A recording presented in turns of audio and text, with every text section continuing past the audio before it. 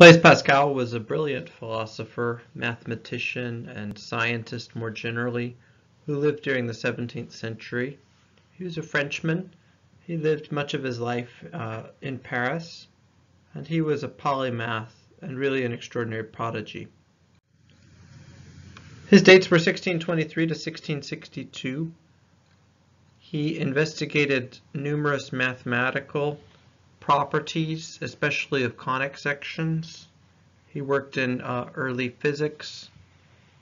He was influential in the development of probability theory especially, and he also engaged in numerous theological disputes that were internal to the Roman Catholic Church. He subscribed to the Jansenist views, the Jansenist wing of the French Catholic Church, and his uh, intellectual enemies at the time were the Jesuits. Blaise Pascal, uh, his pensées is um, literally just thoughts, and unfortunately it's not a completed work. It's a series of fragments that he intended to collect and publish in a more completed systematic fashion. Unfortunately, he died as a relatively young man at the age of uh, 39, and so he could not live to complete the Pensées. Blaise Pascal was a very pessimistic thinker, and so illustrative of this is, for instance, this concise statement of the human condition that he makes uh, in the work. Imagine a number of men in chains, all under sentence of death, some of whom are each day butchered in the sight of the others. Those remaining see their own condition and that of their fellows, and looking at each other with grief and despair await their turn. This is an image of the human condition. This is a very pessimistic view of life, but it captures the reality that all of us are going to die. And for Pascal, the fact of our death is the most important thing, perhaps, that we have to grapple with in life. And it's something that he himself believed uh, he had a very uh, successful or constructive way of approaching. Pascal was also uh, pessimistic about the use of our reason. So if Thomas Aquinas is a Christian who's the great proponent of reason or rational based approaches to understanding the world, because in Aquinas' view, God gave us reason by which to understand the world, for Pascal, in fact, our reason is deeply flawed, uh, not only because of sin, but just because as a faculty it's not capable of the kinds of things that we might want to ascribe to it. Uh, the reality is that um, many persons, uh, in order to get through life, they divert themselves from trying to investigate the difficult topics like the fact of their death. But when they attempt to use their reason, he thinks that their prospects are modest because the limitations of reason are so substantial. Especially um, limited is our ability to reason about matters of ultimate importance. Here's a quote. There is no certainty apart from faith as to whether man was created by a good God, an evil demon, or just by chance, and so it is a matter of doubt, depending on our origin, whether these innate principles are true, false, or uncertain. To press reason and to attempt to use reason in substantive ways beyond its capacities leads us to become either skeptics or it leads us to become uh, dogmatists. For Pascal, the limitations of our reason are especially compounded by the fact of God's hiddenness. God has deliberately hidden himself from us. So some quotes from the Pensées underscore this. That God wished to hide himself. If there were only one religion, God would be clearly manifest. If there were no martyrs except in our religion, Likewise, God being thus hidden, any religion that does not say that God is hidden is not true, and any religion which does not explain why does not instruct. Ours does all this, verily thou art a God that hidest thyself. God uh, hides himself from those who seek him, but the question is why? And for Pascal, God wishes to move the will rather than the mind. Perfect clarity would help the mind and harm the will. Therefore, God seeks to humble the pride of men. Knowing God without knowing our own wretchedness makes for pride. Knowing our own wretchedness without knowing God makes for despair. Knowing Jesus Christ strikes the balance because he shows us both God and our own wretchedness. So God's reasons for hiding himself included uh, the desire to uh, give us the ability to seek Him, but without pride. Very famously, Pascal offered an argument for God's existence that's not really an argument, it's more like a, a gambling wager. The reality is that we're all going to die. And in light of this, Pascal says that the most important question that we need to ask is, does God exist? Either God does or God does not exist. So there are two potential outcomes, two potential solutions that we can find out when we die and wake up on the other side. If we die and wake up on the other side and God does exist, then of course we'll find out the solution. If we find, die and wake up on the other side, there's no God, uh, well, we probably just won't wake up on the other side. It'll probably just be that our um, our lives will dissipate into nothingness.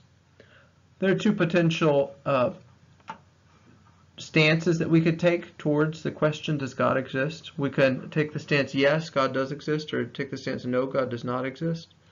To say maybe, to take the agnostic stance, in other words, is at the end of one's life uh, to say no. The agnostic stance becomes a no upon one's death. And by a, a yes stance, Pascal just means that one must uh, live uh, the truth that one intellectually affirms. One must uh, go to Mass, say one's prayers, give charitably, do good deeds, and so forth, in order to confirm one's uh, one's wager of a yes, uh, that yes, that God exists. We all have to make this wager. It is not possible for us not to wager. Not wagering is not an option, for by being born, we are already committed to making a decision one way or the other. For Pascal, we need to think about the possible payoffs to the uh, wager.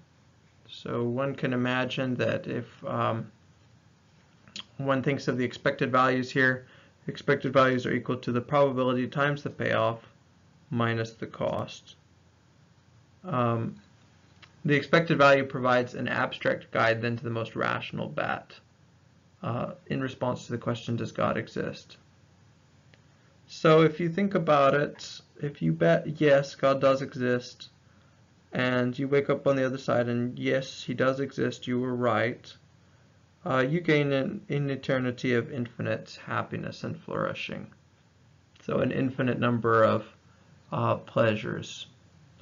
If you bet yes, God does exist, and you wake up on the other side, or, or you don't wake up on the other side, uh, whatever, the reality is he doesn't exist, then uh, you lose out on a certain number of finite pleasures that you could perhaps have enjoyed in this life. Uh, for Pascal, every sin is sweet for a season, and there are a certain number of finite pleasures that one can have in this life if one chooses not to believe in God. Maybe the pleasure of of making money at the expense of impoverished persons who you exploit, or or maybe the pleasure of being able to to cheat on your taxes, or or uh, say to sexually to sleep around with uh, with multiple partners or, or, or uh, maybe to violate various other Christian moral uh, injunctions in ways that are pleasurable.